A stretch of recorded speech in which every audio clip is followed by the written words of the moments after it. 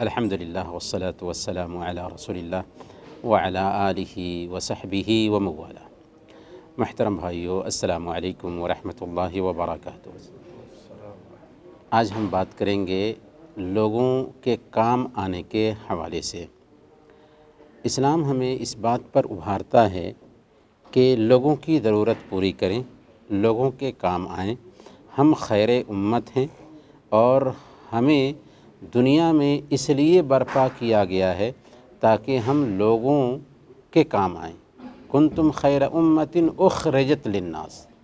تو گویا کہ لوگوں کی جو بھی ضرورت ہو، پوری کرنا ایک مسلمان کی ذمہ داری ہے۔ اسی کے لیے اس کو وجود میں لایا گیا ہے۔ ضرورتیں کبھی کبھار ایسی ہوتی ہیں جن کے اوپر زندگی ڈیپینڈ ہوتی ہے۔ تو اگر ہم سامنے والے کو دیکھ رہے ہیں، کھانے پینے کی ضرورت ہے، اس کی ضرورت پوری نہیں کرتے اور اس کی موت ہو جاتی ہے، تو ہم گویا کہ ایک جان کو مارنے کے ذمہ دار ٹھہریں گے۔ اور کبھی ضرورتیں ایسی ہوتی ہیں کہ جن پر جان تو ڈپینڈ نہیں کرتی، لیکن بہرحال وہ بھی زندگی کی ضرورت سمجھی جاتی ہے۔ تو اس میں بھی ایک انسان کے کام آنا بہت ہی مناسب عمل ہے، افضل عمل ہے۔ البتہ اگر ضرورت پوری کرنے میں سامنے والے کا اگر نقصان ہے، تو کیا وہ ضرورت پوری کی جائے گی؟ مثال کے طور پر اگر کوئی آدمی ہم سے سگریٹ مانگتا ہے، کہ سگریٹ خرید کر کے دے دو، تو کیا ہم اس کی ضرورت پوری کریں گے؟ قطعا نہیں اللہ فرماتا ہے، وَتَعَاوَنُوا الْبِرِّ وَالتَّقْوَى وَلَا تَعَاوَنُوا الْإِثْمِ وَالْعُدْوَانِ نیکی اور بھلائی کے کام میں ایک دوسرے کا ساتھ دو، سرکشی اور گناہ کے کام میں ایک دوسرے کا ساتھ نہ دو۔ یہاں تک کہ میرا باپ بھی اگر کہتا ہے کہ سگریٹ لا کر کے دو، تو میرے لیے جائز نہیں ہوگا کہ میں اپنے باپ کو بھی سگریٹ خرید کر کے لا کر کے دوں۔ اور باپ کے ساتھ نیکی میں یہ چیز شامل ہے کہ باپ کو سگریٹ خرید کر کے نہ دیا جائے۔ کیونکہ اللہ کے نبی صلی اللہ علیہ وسلم نے کیا فرمایا؟ انصر اخا کا ظالمن او مظلومہ اپنے بھائی کی مدد کرو، چاہے وہ ظالم ہو، چاہے مظلوم ہو۔ صحابہ نے پوچھا تھا کہ مظلوم کی مدد تو ہم کریں گے، ظالم کی مدد کیسے ہوگی؟ آپ نے فرمایا کہ اس کو ظلم سے روک دو، یہی اس کی مدد کرنا ہے۔ تو ایک انسان جو غلط کام کا عادی ہے اگر ہم اس میں اس کا ساتھ دیتے ہیں تو ہم بھی ساتھ دینے والے ہوئے۔ اگر ہم اس کو اس سے روک دیتے ہیں تو گویا کہ ہم نیکی کے کام میں ساتھ دینے والے ہوئے۔ برکیف، آئیے احادیث کو دیکھتے ہیں کہ کیسے اسلام ہمیں دوسروں کے کام آنے پر ابھارتا ہے۔ صحیح بخاری اور صحیح مسلم کی روایت ہے۔ حضرت ابن عمر رضی اللہ تعالیٰ عنہ بیان فرماتے ہیں کہ اللہ کے نبی صلی اللہ علیہ وسلم نے ارشاد فرمایا، المسلم اخ المسلم لا یظلمہ ہوں ولا یسلمہ ہوں کہ ایک مسلمان دوسرے مسلمان کا بھائی ہوتا ہے، نہ تو اس کے اوپر ظلم کرتا اور نہ ہی اس کی مدد ترک کرتا ہے۔ وہ منکان فی حاجت عقی کان اللہ فی حاجت ہی اور جو آدمی اپنے بھائی کی مدد میں لگا رہتا ہے، اللہ تعالیٰ اس کی مدد کرتا رہتا ہے۔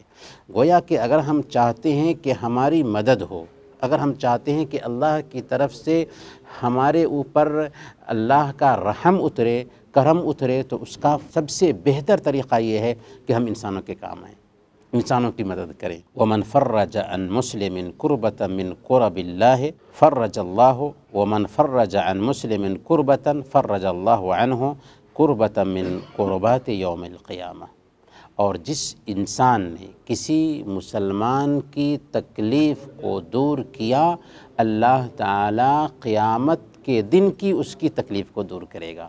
گویا کہ دنیا میں ہم کسی مسلمان کی تکلیف دور کرتے ہیں تو کل قیامت کے دن اللہ تعالی ہماری پریشانی جو ہونے والی ہے اس پریشانی کو دور کرے گا۔ وہ من سطر مسلمن سطر اللہ یوم القیامہ اور جس سے انسان نے کسی مسلمان کی پردہ پوشی کی، کل قیامت کے دن اللہ تعالیٰ اس کی پردہ پوشی فرمائے گا۔ اسی طریقے سے صحیح مسلم کی یہ بہت ہی پیاری حدیث ہے۔ حضرت ابو حریرہ رضی اللہ تعالیٰ عنہ روایت کرتے ہیں۔ اللہ کے نبی صلی اللہ علیہ وسلم نے بیان فرمایا، من نفس عن مؤمن قربتا من قرب الدنیا نفس اللہ عنہ قربتا من قرب یوم القیامہ۔ کہ جس انسان نے کسی مسلمان کی دنیا کی پریشانیوں میں سے کسی پریشانی کو دور کیا، اللہ تعالیٰ اس انسان کو کل قیامت کے دن کی جو پریشانی ہے، اس پریشانی سے نجات دے گا۔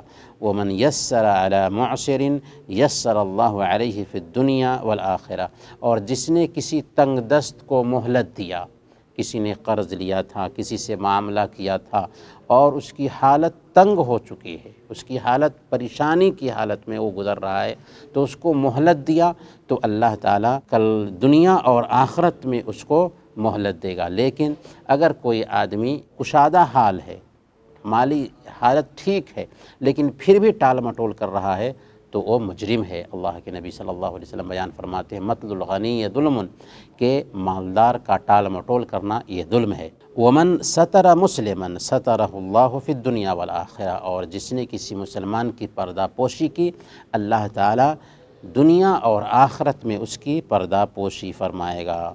واللہ فی عون العبد ما کان العبد فی عون اخیہ۔ اور اللہ تعالیٰ ایک بندے کی مدد میں لگا رہتا ہے، جب تک کہ وہ بندہ اپنے بھائی کی مدد میں لگا رہے۔ گویا کہ ہم چاہتے ہیں کہ اللہ ہماری مدد کرے تو انسانوں کے کام آتے رہیں۔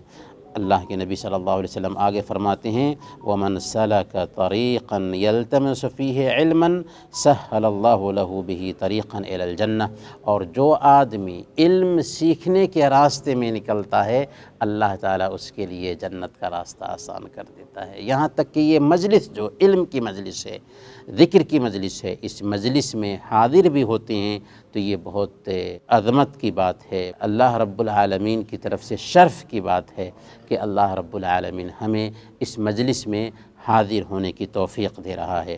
وہ مجتمع قوم فی بیت من بیوت اللہ یتلون کتاب اللہ ویتدارسونہ بینہم الا نزلت علیہم السکینہ وغشیتہم الرحمہ وحفتہم الملائکہ وذکرہم اللہ فی من عندہ اور جو لوگ اللہ کے گھروں میں سے کسی گھر میں اکٹھا ہوتے ہیں، اللہ کی کتاب کی تلاوت کرتے ہیں اور اسے آپس میں سمجھتے ہیں، تو ان کے اوپر اللہ کی سکینت اترتی ہے۔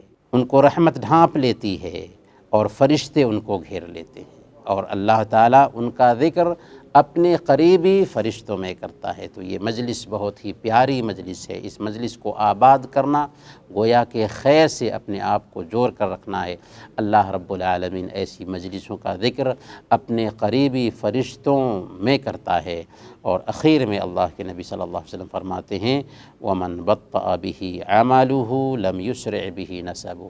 کہ جس کا عمل اس کو پیچھے کر دے، اس کا خاندان اس کو آگے نہیں کر سکتا۔ ایک انسان ہے جو عالم اور فاضل گھرانے سے تعلق رکھتا ہے، اس کے ماں باپ بہت ہی علم والے ہیں یا دیندار ہیں، لیکن اگر وہ دین سے تعلق نہیں رکھتا ہے تو یاد رکھیں اس کا خاندان اس کو آگے نہیں کر سکتا۔ اور کیا فائدہ ہے دوسروں کے کام آنے کا؟ طبرانی الکبیر کی روایت ہے، علامہ علمانی نے اس حدیث کو صحیح قرار دیا ہے۔ اللہ کے نبی صلی اللہ علیہ وسلم فرماتے ہیں، وَلَأَنْ أَمْشِ مَا أَخٍ فِي حَاجَةٍ أَحَبُّ إِلَيَّ مِنْ أَنْ أَعْتَكِفَ فِي هَذَا الْمَسْجِدِ یعنی مسجد المدینة شہرًا۔ میں اپنے بھائی کی مدد کرنے کے لیے اس کے ساتھ چل کر کے جاؤں۔ میرے لیے یہ بہتر ہے اس بات سے کہ میں اس مسجد میں یعنی مدینہ کی اس مسجد میں، مسجد نبوی میں ایک مہینہ تک اعتکاف کروں سبحان اللہ، کتنا اجر اور ثواب ہے۔ یعنی اگر کسی بھائی نے آپ سے کہا کہ بطاقہ مدنیہ جا کر کے میرا کوئی کام کرانا ہے، مجھے ہاسپیٹل جانا ہے، آپ اس کے ساتھ چل کر کے گئے، آپ اپنی گاڑی سے اس کو چھوڑ دیتے ہیں، تو کیا اجرا اور ثواب ہے؟ اللہ کے نبی صلی اللہ علیہ وسلم بیان فرماتے ہیں کہ میں مسجد نبوی میں اعتکاف کروں ایک مہینہ تک، اس سے بہتر ہے کہ میں اپنے کسی بھائی کی ضرورت پوری کرنے کے لیے اس کے ساتھ چل کر کے جاؤں۔ یہی وجہ ہے کہ اللہ کے نبی صلی اللہ علیہ وسلم نے اپنی پوری زندگی وقف کر دی تھی لوگوں کی خدمت کے لیے۔ کہیں کوئی خبر ملتی تھی فوراً وہاں چلے جاتے تھے، کہیں پہ اختلاف ہے، صلح کرانے کے لیے چلے جاتے تھے۔ یہاں تک کہ ایک عورت کے بارے میں آتا ہے کہ عورت جس کے دماغ میں کچھ کھوٹ تھی، وہ راستے میں ملتی، بولتی کہ یا رسول اللہ، مجھے آپ کی ضرورت ہے۔ آپ اس کی ضرورت پوری کرنے کے لیے چلے جاتے تھے۔ حضرت ابو بکر صدیق رضی اللہ تعالیٰ عنہ کے بارے میں آتا ہے کہ وہ خلیفہ تھے۔ اس کے باوجود بھی ایک عورت کا دودھ دہنے کے لیے اس کے گھر جاتے تھے۔ حضرت عمر فاروق رضی اللہ تعالیٰ عنہ کے بارے میں آتا ہے کہ وہ خلیفہ وقت ہونے کے باوجود ایک بیوہ عورت کے گھر جا کر کے اس کا پانی بھر دیتے تھے رات میں۔ اور حسن بن علی رضی اللہ تعالی عنہ جو امام زین العابدین کے نام سے جانے جاتے ہیں، ان کے بارے میں آتا ہے کہ مدینہ کے سو گھروں کی کفالت کرتے تھے۔ رات میں اناج ان کو خبر کیے بغیر ان کے گھر میں پہنچا دیتے تھے اور ان کو پتہ بھی نہیں چلتا تھا کہ کون ہماری کفالت کر رہا ہے۔ جب ان کی وفات ہوئی، تب اناج نہیں پہنچا ان سو یتیموں اور بیواؤں کے گھروں تک۔ تب پتہ چلا کہ یہ امام زین العابدین تھے جو ان تک مہینے بھر کا اناج پہنچایا کرتے تھے۔ تو یہ تھے اللہ والے، لہذا ہمیں بھی دوسروں کے کام آنا چاہیے، کیونکہ اسلام اس میں بہت زیادہ اجر اور ثواب رکھتا ہے۔ لیکن ایک بات نوٹ کرتے ہوئے کہ اگر ایمان سے محروم ہو کر کے ہم نے نیکی کا کام کیا تو اس نیکی کے کام کا کوئی فائدہ نہیں۔ ایمان کے ساتھ ہی نیکی کے کام کا فائدہ ہے۔ ایمان کے ساتھ ہی ویلفیئر کے کام کا فائدہ ہے۔ اسی لیے صحیح مسلم کی روایت ہے، عبداللہ بن جدہان کے بارے میں حضرت عائشہ صدیقہ رضی اللہ تعالی عنہ نے ایک دن اللہ کے نبی صلی اللہ علیہ وسلم سے پوچھا تھا کہ عبداللہ بن جدعان مکہ کا بہت ہی نیک انسان تھا ویلفیئر کا کام کرتا تھا، کھانا بناتا تھا، یہاں تک کہ اس کے کھانے کو سب لوگ کھاتے تھے، غریب لوگ، مسکین لوگ کھاتے تھے، کیا یہ نیکی کا کام، اس کو کچھ کام آئے گا؟ اللہ کے نبی صلی اللہ علیہ وسلم نے کہا کہ نہیں، کچھ بھی کام نہیں آئے گا، کیونکہ اس نے کبھی بھی یہ نہیں کہا تھا، رب اغفر لی یوم الدین، اے اللہ میرے گناہوں کو کل قیامت کے دن معاف کرنا۔ یعنی اسلام نہیں لایا تھا تو پھر اس کے ویلفیئر کے کام کا کوئی اعتبار نہیں۔ ہاں اللہ تعالیٰ غیر مسلموں کے ویلفیئر کے کام کی قدر کرتا ہے اس دنیا ہی میں اور دنیا ہی میں ان کو بدلا دے دیتا ہے۔ اللہ تعالیٰ ہم سب کو نیکی کے کام ویلفیئر کے کام کی توفیق عطا فرمائے۔ آمین۔ و صلی اللہ علیہ نبینا محمد وعلی آلہ وصحبہ اجمعین۔